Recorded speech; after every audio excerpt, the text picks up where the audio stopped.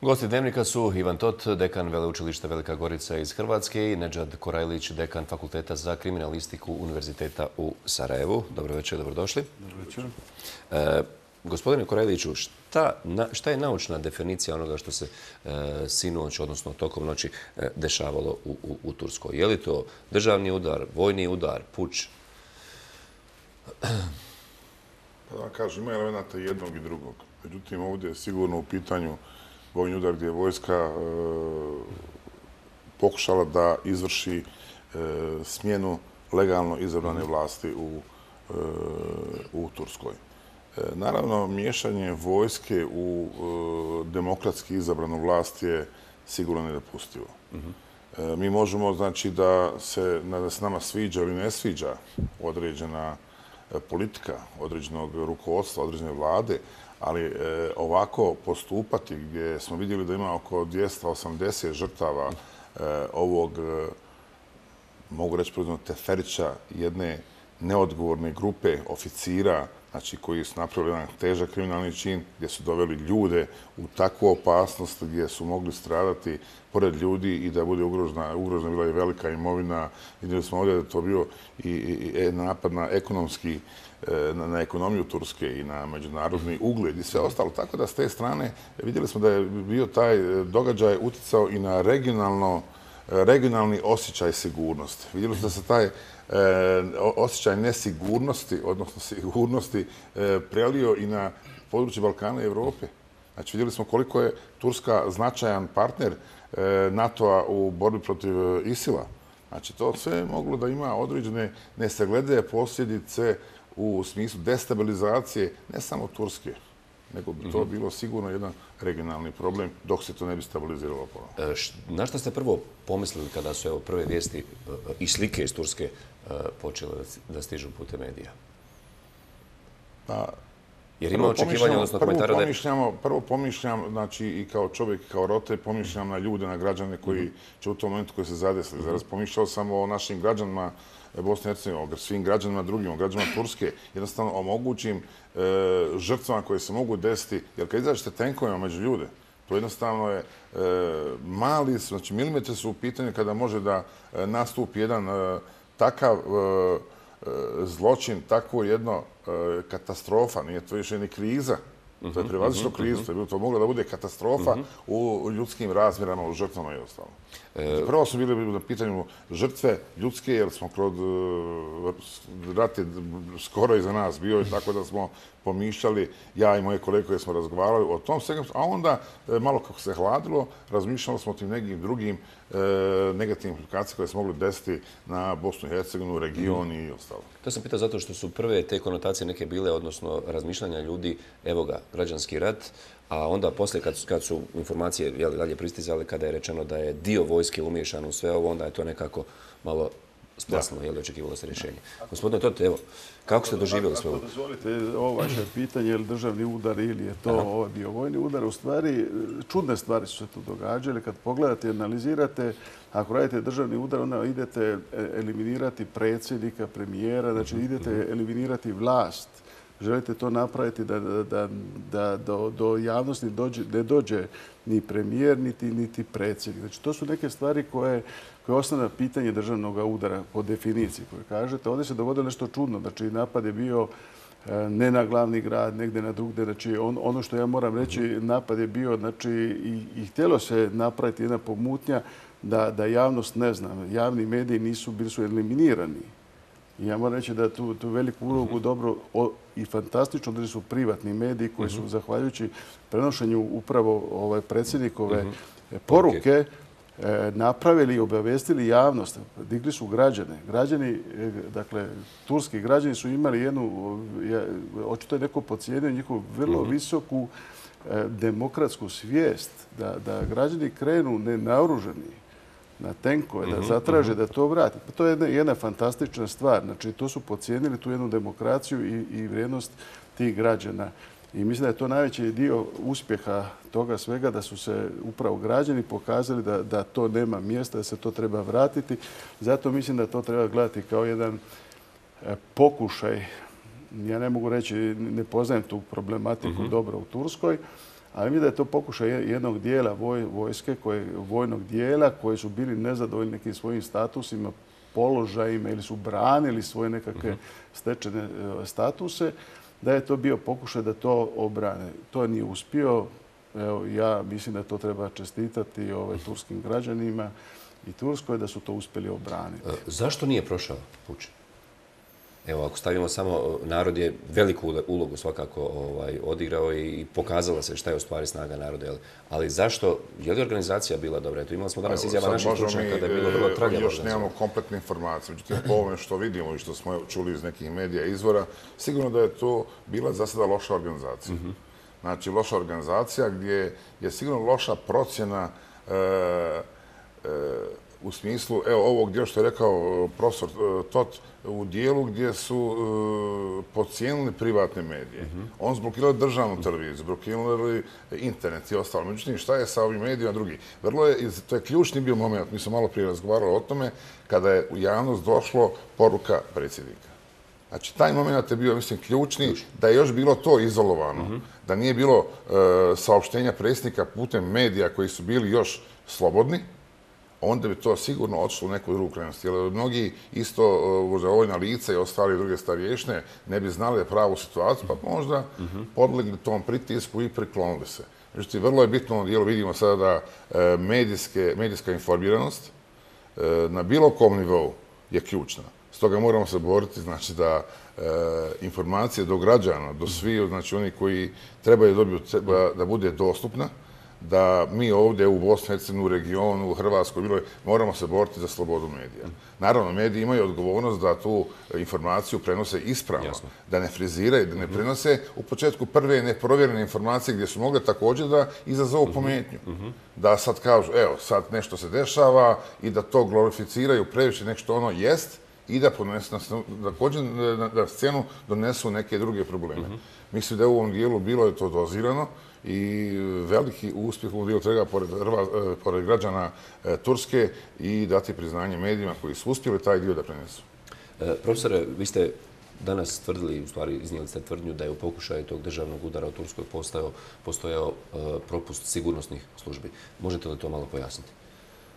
Pa, e, sada, sigurnosne službe, pitanje je sad, e, uzmimo hipotetički. E, Turska se pokušava već nekoliko godina znači, da se e, iščisti onaj radikalni dio vojske koji jednostavno mhm. se drži po onom starom od 1920 mhm, i mhm, neke šeste godine, tako, gdje pokušavaju taj dio tradicionalno da zadrže. Međutim, e, ostaje sigurno jedan dio te struktura koji nisu iščišćene. E sada, pitanje je da li je to sad neki se rekli da je to su demokraciju, a drugi kažu, oni su ugrožavali. Naravno, kad gledamo hipotečki jedno i drugo može da bude, sa šta je tu tačno? E, ukoliko su mediji, odnosno sigurnosne službe e, ili e, turska vlada htjela da izvrši neki neko čišćenje u tom dijelu, i ako su imali oko toga informacije, na primjer imali su određenu informaciju jer predsjednik nije bio u, u, rezidenciji sve gdje su oni misle da jest. Da li su oni prethodno dobili obavješne podatke? Vjerovatno jesu. Sklonili su predsjednika. Znači, to je sada prilika da jednostavno Turska se iščisti u mhm. ovom vojnom dijelu e, i ima legalnu mogućnost da e, raščisti s onim dijelom s kojim ne bi mogli uraditi da se nije ovo desilo. To je naravno hipotetički. Da, oprostite, mhm. Mhm. znači ovo što gospodin Korlić kaže, znači radi se o tome, e, ja čak vjerujem da su imali neke informacije. Dakle, naprosto nevjerojatno da nema informacije. Dakle, I sad je pitanje, mi možemo sad razgovarati, nemamo dovoljno podataka, mhm. jer je to propust ili nije propust. Ali e, kad imate i podatke, a vojska je vrlo jedna, jedna složena situacija u kojoj tražite jednu kompaktnost i u stvari vojska drži se jedne druge, razumijete, bez mhm. obzira na, na, na nekakve frakcije koje jesu.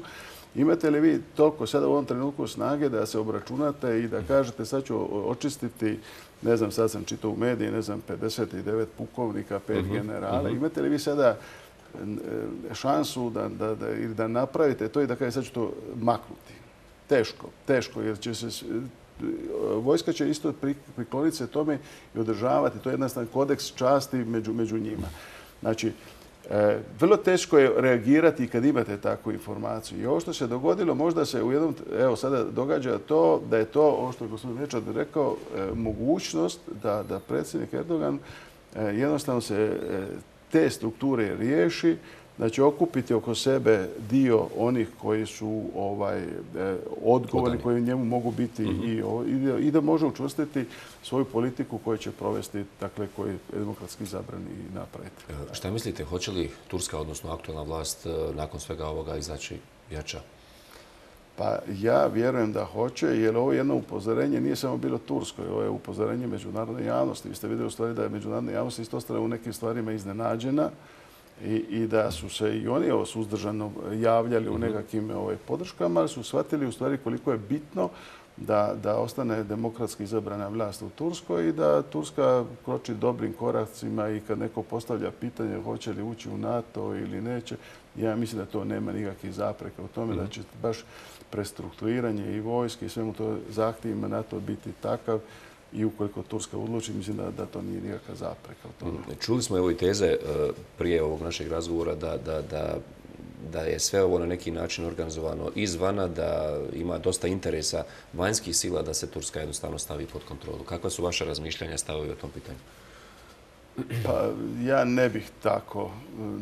nisam dovoljno, ovaj, nemam dovoljno informacije. Rijetko ko ima danas informaciju, to je dakle svako može nagađati šta hoće. Mislim da, da, da nekakva destabilizirana Turska i, ovo ne, ne stoji. Turska kroči jako dobro napred, ona je mhm. ekonomski vrlo, dakle, i tekako čimbenik važan za ovaj dio Europe i mislim da nikome u, u ovom načinu ne treba. Ovo se jednostavno dogodilo ovaj, u jednom trenutku ovaj, razmišljanja da li je, da li je to e, nečija taština povređena pojedinačna pa se mhm. to malo multificira, to ne mogu reći. Ja osobno mislim da, da, da, da nema nikakvih upliva izvana. Teško je to provedeno izvana da bi se to dirigiralo. Pa, možda u ovom dijelu, kad bi gledali istorijski, ja se slažem sa e, mojim e, kolegom Totom, međutim, istorijski gledano, nijedan državni ni vojni udar historijski nije, kada gledamo sad kroz istoriju, tako da je pa kad se to nakon 10, 15, 20 godina otriva, e, vidimo da nije prošlo bez umješnosti nekoga. Mhm. Naravno, ovdje treba procijeniti ko ovdje gubi, ko dobija. Neko bi dobio možda sa destabilizacijom Turskom, mhm. možda bi došlo do pojačanje e, kupovnje oružja, možda bi došlo do određenih političkih ustupaka, možda bi došlo, to je sve hipotetički. Naravno, u ovom dijelu stvarno bilo e, proizvoljno govoriti sa moje strane, od strane mhm. kolege, zato govorimo ovako malo i obazrivo. E, treba sačekati, treba vidjeti. Naravno, Turska će kroz ovu istragu da iznese te činjenice i ostalo ako ima, a sad bi bilo s naše strane neodgovorno i sa mojim mišljenjem znamo kroz istoriju da je bilo toga, da je mhm. rijetko kada bilo, da se to e, dešavalo. E, e sada, i kada se dešavalo, dešavalo se vrlo često i od nekih određenih krugova, nekih država, ali ne zvančne države. Mhm. Znači, prema tome, sigurno da u tom dijelu nijedna ozbiljna država od koje funkcionišu u svijetu ne bi sebi dozvolila da bude na ovakav način e, sutra prozvana da je učestvalo u nečemu takvom. Prema tome, to može da bude određeni isto tako krugovi kao što imamo sada u vojstvi e, Turske koji su mhm. desili i neki pojedinci, određeni krugovi e, u interesne grupe zbog nekih svojih cilja. Prema tome, mislim da sistemski e, neka država iza toga ne stoji, a sada vidjet ćemo naravno nakon svih tih istraga koji će se provesti u Turskoj, pa ćemo na kraju moći... Nekako, nekako se blizu desilo nakon ovih e, pomirljivih riječi i obraćanja i turskog predsjednika prema Rusiji i opet s druge strane Rusije prema, prema Turskoj, tako da...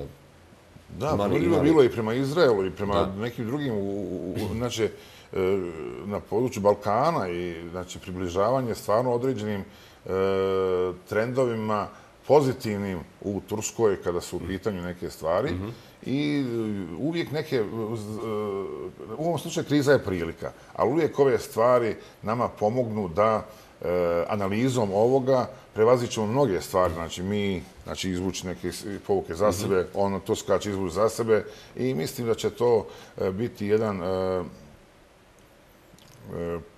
jedan način da ovakve stvari u regionu pa i šire se ne dešavaju i da iz ovog se izvuku ozbiljne povuke. Iz toga isto i naša škola koju imamo u Sarajevo, zajedno Veleučilište Velika Gorca i mi pokušavamo da kroz te učenje iz kriza koje se desile, mhm. da pokušamo izvući neka pozitivna rješenja za neke buduće krize.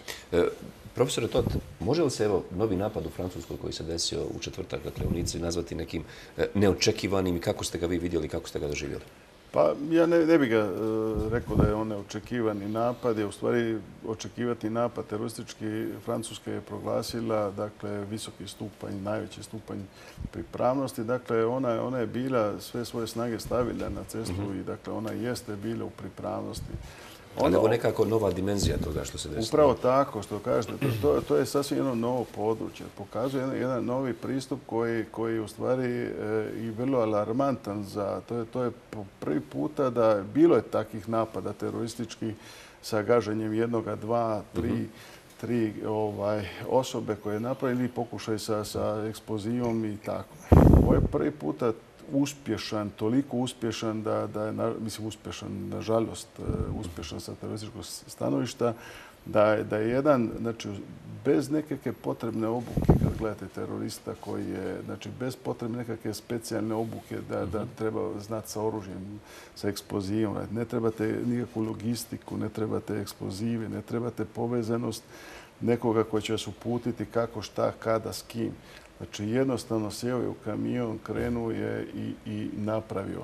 To, to je moglo napraviti, sad će neko reći je li je Francuska trebala napraviti ovako. Mi možemo razmišljati u naseljenim mjestima su šetališta, masovne okupljanja, moramo napraviti nekakve barikade ili prepreke i, i bez obzira šta je događaj da se to spriječi. Mhm.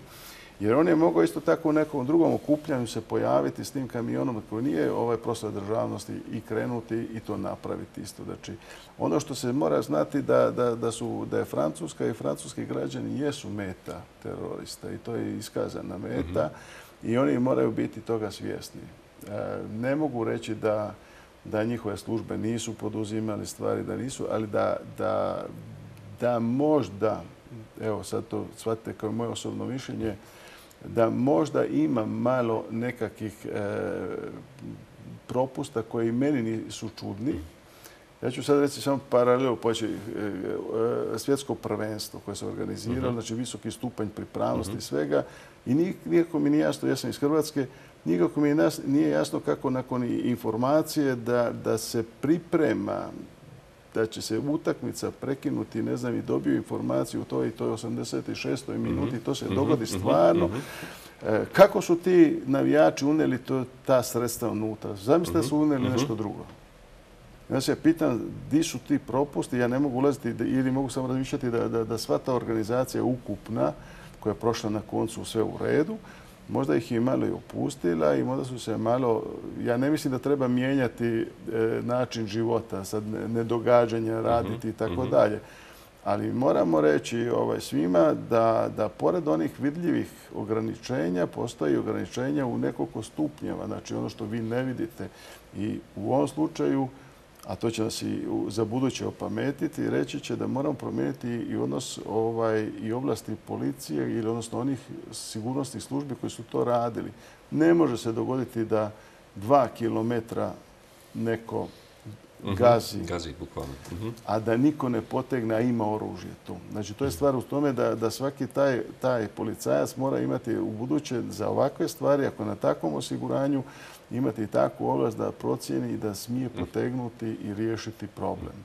To su ovaj nekakve stvari koje će tražiti i u operativnom smislu ovaj Drugo, mislim da, da, ja sam to i danas rekao, e, e, političari moraju slušati e, procjene stručnjaka i službi oni moraju shvatiti da kada se kaže nije uputno da se baš tako na taj način mhm. radi.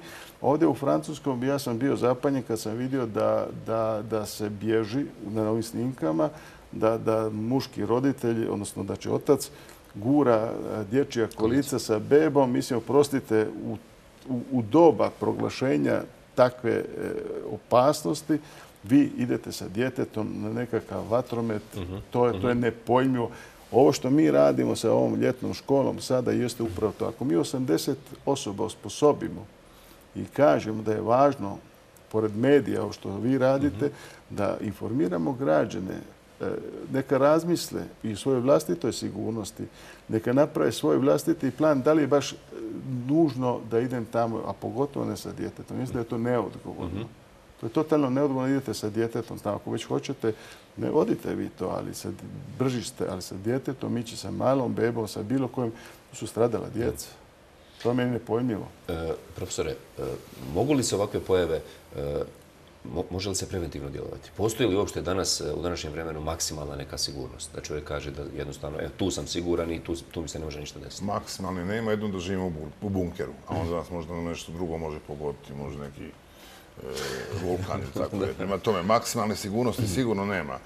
Mi moramo, znači, živjeti svoj život, stil života naš i ostalo, naši kulturološki i ostale moraju se ispunjavati, a mi podizati takav stupanj sigurnosti, naravno, pored ovog represivnog, ima ovaj preventivni, što je govorio profesor, što se ne vidi, gdje, evo, između ostalog, ovaj preventivni dio edukacija studenta, stručnjaka, da E, taj dio propagiramo, da e, i oni e, koji se odluče za napad vide da su građani educirani, da su sigurnosne službe i da nema od toga efekta. Znači, u ovom dijelu sigurno ima dosta propusta. naravno, lako je sada raditi i analizirati i ostalo nakon svega.